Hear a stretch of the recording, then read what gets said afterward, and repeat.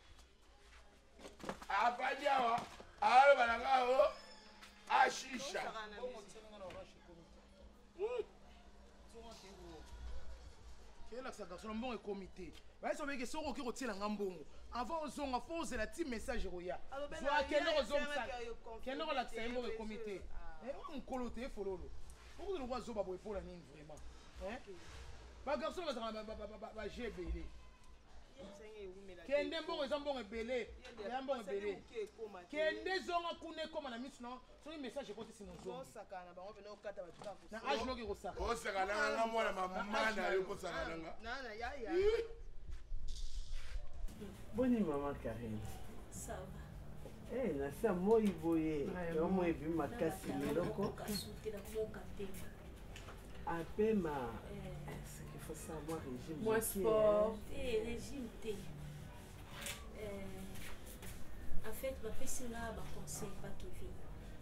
kevin alobi na nga nini ata bayebisi koloba te mai naza motu nakozanga masolo obeta te na bato hmm. nakozanga moto akoexplike likambo te mai namoni so nakeyebisa te makambo eza te nga moko kimia eza na papa eh, kimia ezali namoni nde soki nakeyebisa ezosanga nde pema nazokoka te nyonso nabosani evantai na ngai namoni nde soki nakeyebisa famille na ngai na mosusu mokebetela motu lisolo ekoki kokóma su ndenge ezalaka mikolo nyonso yango na boyi na bandi susi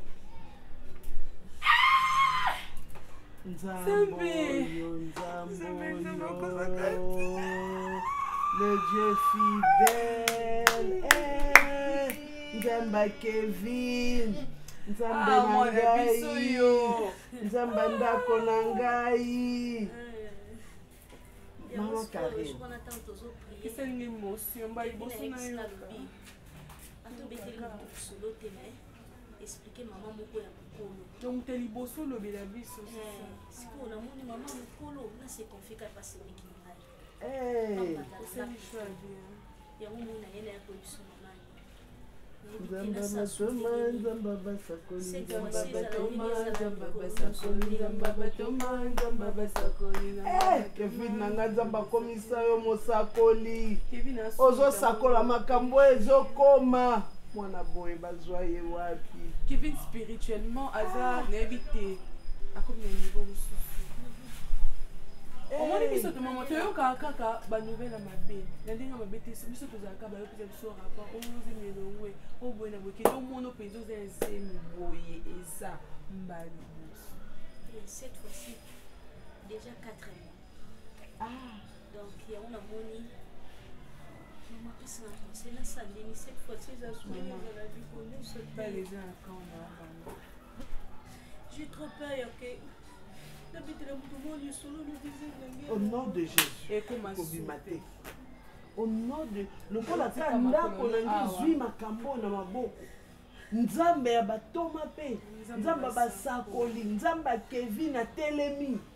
jamais jamais karine toza bambanda wi mpo tobali mibali oyo baza ya na leki me na otala boye okoza mwana mpo na nga napamboli nzambe mpo akosaka te au moins message kevin apesaka omoni résultat nango lelo nga nakomobende nakomobengayebandandelo nzambe akevi kende nanu tika olobisa ngai koyo opesanga kanda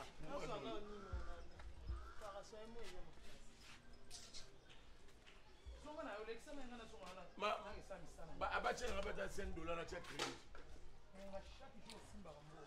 chaque jour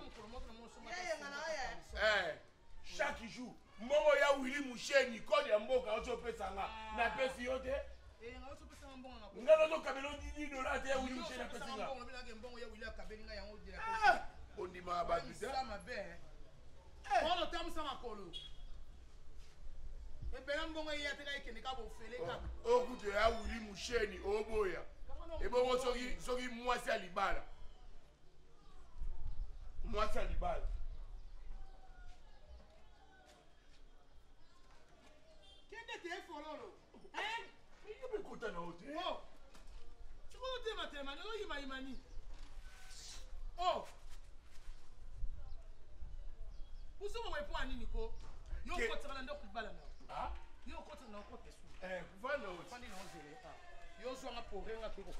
eloko mosusu te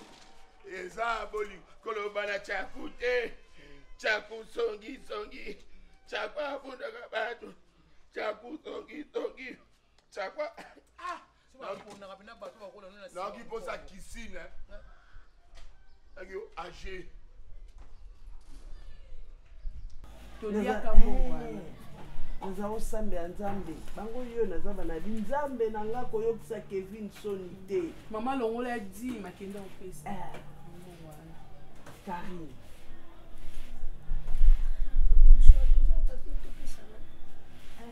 oza eh. papie na ndako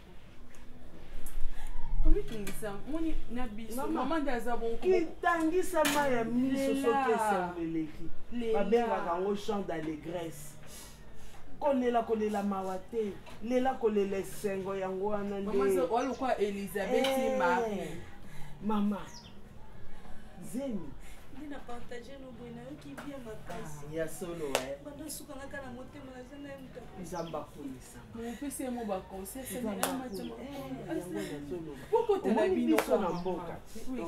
yo mpe oza mwasi lobilobi mpe ekomelaka eh, eh, moni biso na mboka ntango mosusu bofingaka biso bato ya mboka eh. mpe na mboka makambo ya mike mike kaka yango ebatelaka bomoi ya biso biso banda tozala mike tina nde nakoli nazalaka komona soki mwasi akomi na zemi zemi wana ezotungisa ye babanda ofandisaka ye kaka makolo likolo akokende su zamba te akozala misala makasi makasi akosala lisusu te akofanda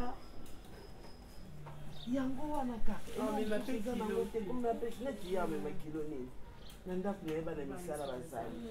omema kilo nini mama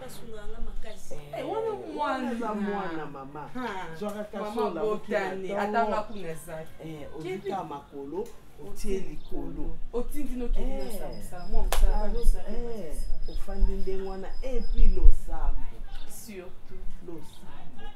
munoko kaka ndenge balobeli yo la discrétion discrétion ofandi na yo losambo ntongo pokwa biloko ya pilipili te baalcool te kolobalobaloba mpe mingimingi te evanda ezala mpenza na kimia lalaka mpe ntango molai mpo mwana akoka koseforme mobimba eh. mpo cerveau na ye eseforme malamu mayele na ye eza ya kokoka yango wana ka mama ngai nazamama lobela ye mpe mona nini obota mpo mama pa momo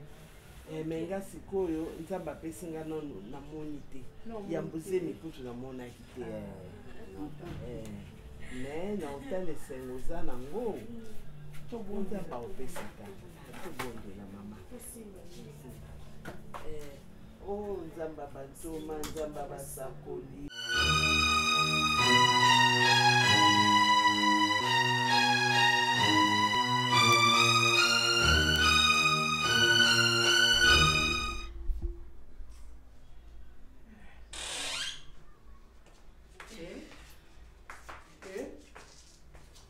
Eh?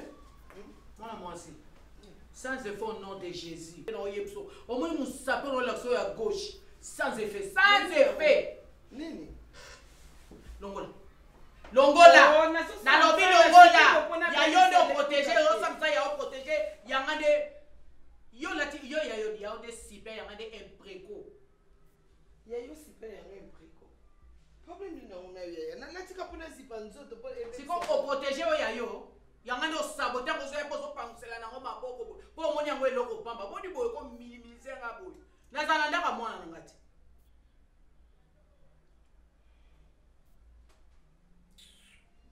tande ekomisala thomson lokalingi kalingi ba thomson mais okalingi yango otie liputa ya, ya, ya nga na likolo ya yo protege yango eza na basola parfum bongo mais siko mpo na nini otie ya yo na likolo te yango olata na se nakangi na singa nakozongo nakotie likolo ndenge nini mbala suka so ozosala mosala tiaka liputa nakotiaka yanga te mpo oyo eza sabotage otie yanga sikoyo yango nde tablier po e protegeaka mafuta ezwa elamba na yo te mafuta ezwa ezwa makuta na yo te yo lokola olataka ba super ngai nalataka ba impreco yango wana ti ngai na ba impreco na ngai nalingi bosoto na yango te sans effet na yo okoka nga te so kindoki na olingi ozwa ngo na maputa na nga obanda koloka nga oyo amfute nga sans effet yo ata baoloba peti esila ya te eh, olia bien ti osilisa il faut ozwa baresponsabilité na yo mama si akoli nga nayaka loboko moko epuis mobali na nga tala charge aza nango ya famille na ye mobili avant ambongo ebele oyaka abongo na famille ona réponse opesi nga ye donc ezalaka bonso eyebali mbala mbongo libota okoloba ata yaya epesanga mbongo ya na voyage nakenda ata dubai nabelelaka ata na tiktok ndenge maninga baobelela tapo te somba bodi somba boye wana yo olata nyonso te olata nyonso te so osomi eh. mil bilamba olata nyonso mbaa moko eh? mais olambi bien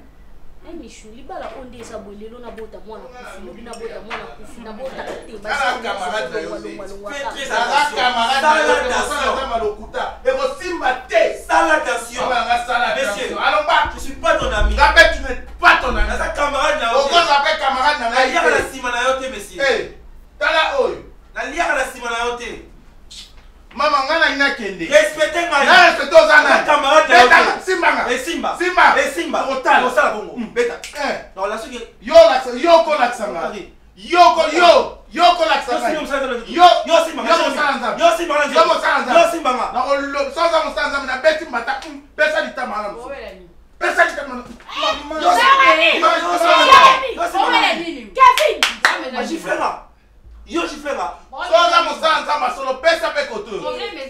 tala babundi lokwa babula dendo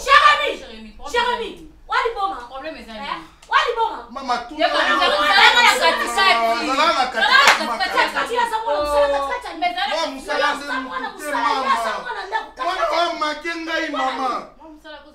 mama misu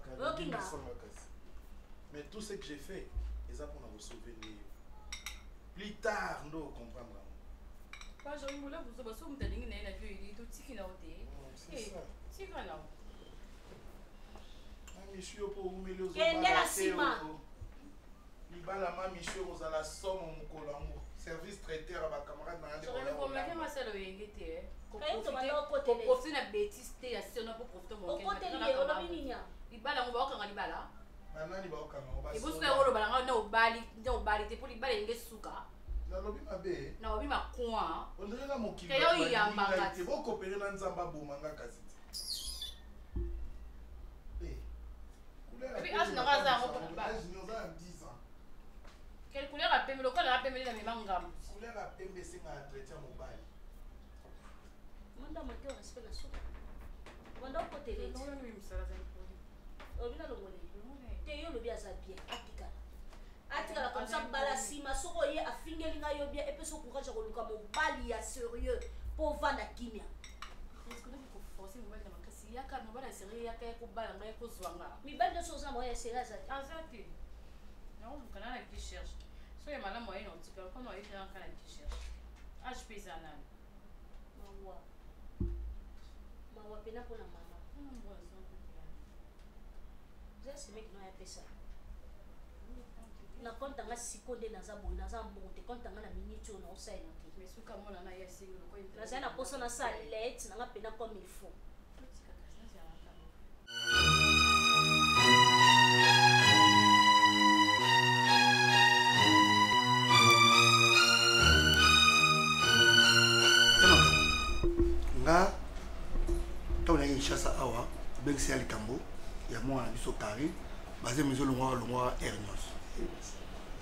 ntango tofandi awa namoni soki somo oyo tozwami ezwami awa eza te baza ezo pipi ezo kolongwa ata lokola lokola pompe nga namoni eza na manière ya kolobela yango koloba yango lokola litio te explique bien obengisaka na kinshasa awa te oexplike nga ke na kote bazemi koloba te ezolongwa lokola pompe mwana bazemi ezolongwa e okati wana koloba te ezolongwaka lokola po poso longola mibale wana ezalaka mwa hobi te onene yaki kosala mosala punda awa ngwanga ekoki oluki nga mbongo atike opesi nga mbongo mosusu asala bacha junga mwa famille nasomba balicheti bakongo nasomba junga mwa famille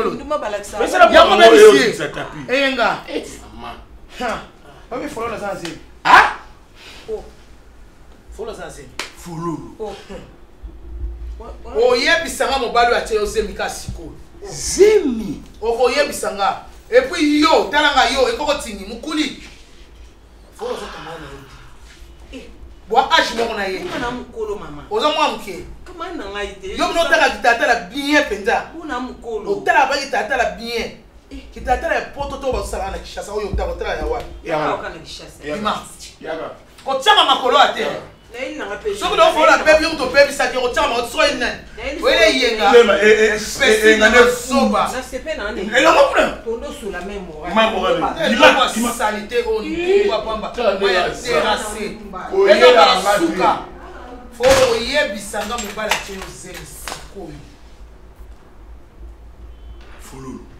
mpo na obuka ominu na likofi zemi oyo obotela na kati ya ndako nako wanga na kati owanganaka soki ndako mobima elakisi kaka ezwa zemi boye na boye na kati ya ndako nako tokoma mamama mibale docteur amoni te soki ezali nani kamonoko na yo nyonso mona docteur azwi elongi ya moto atie zemi abimisi mona na ekografi tu fini fololo fololo nani atie yo zemi mobali na yo nani azalaka wapi kotiela nga elongi longo malembe bazosumwa te mobali no nani azalaka wapi oyebi te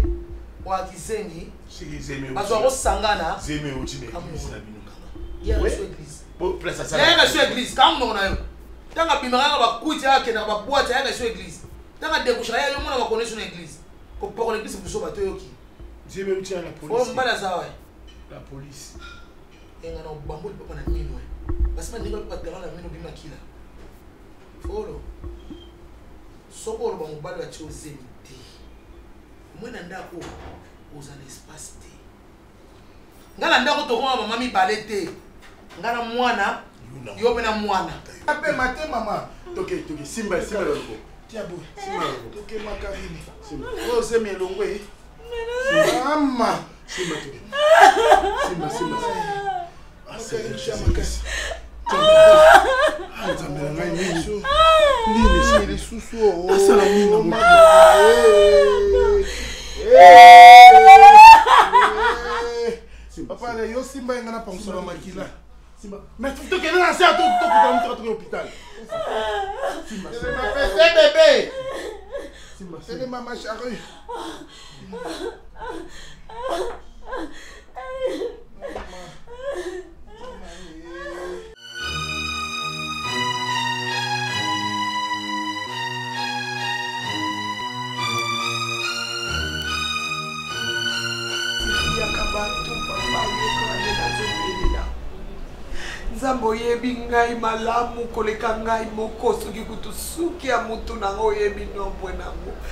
Papa yo moto oyebi etadame na ngai nzambe yo moto oyebi etadame na ngai papa soki ya solo nalingani nakende na foto wana na esika mabe nakobanga kasi lokola nayebi ke nalingani naya nango na mosali na yo mpo abondela kaka mpo atya kimya nzambe justifie ngai nzambe justifie ngai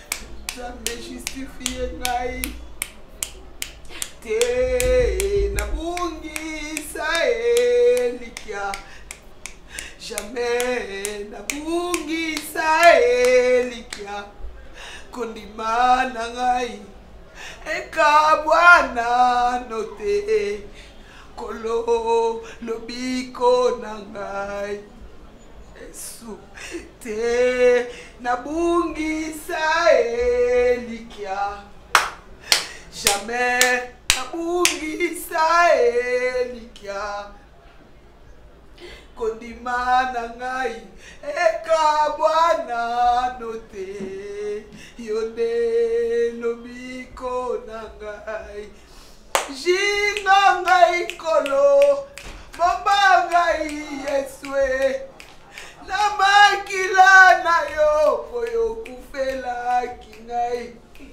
yesu jésus nzamba mawa nzambe na osenga kaka yo nde ojustifie ngai yesu yo nde ojustifie ngai jésus yo kaka yo mosusu te nzambe boni boye po topema te boni makelele boye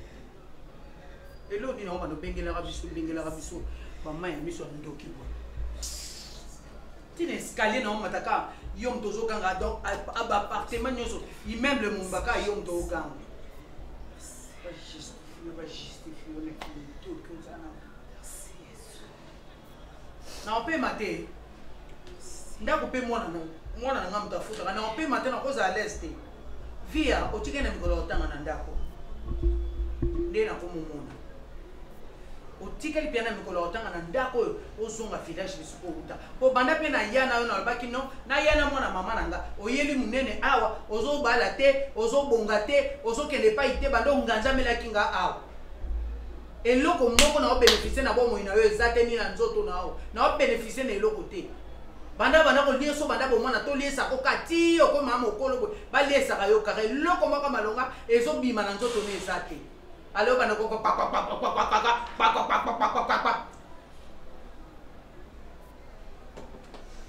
apa kosala na eloko mosusu osala te apa akosenga mawa nzambe nani eloo mosusu ah, longwa kuna longwa soki naokutana kuna te soki nazoki libala kozala moto akotingama na yo te ete moto apesaka libala eza nzambeviya viya nalembi yo na meme verbe nalembi yo na soki soki nalembi yo oyoki nalembi na ngai yo okompede amaa mokolo ata soki obali te okoluka ndako to ovanda ata yo moko osala vina ko bato bato baza na bandako bazofuta ya bandako oyo ngai namoni na vila kinshasa bazaka basi ya mabala mais ozozala eloko te mpo na nini yo chaque fois oza Ba prière yango seke osalaka ba prière ya lokuta. Mpo soki obondelaka Nzambe ya solo aza na bomoi, pourquoi pas azoyanola yo? Ah, ata nango ozokoma koko ayanololo ah, otambola na velo oh. Oh, babi na bolenge sepela na bolenge na yo oh, via via pardon pardon eh. mikolo ekomi ya kotanga nga mpenza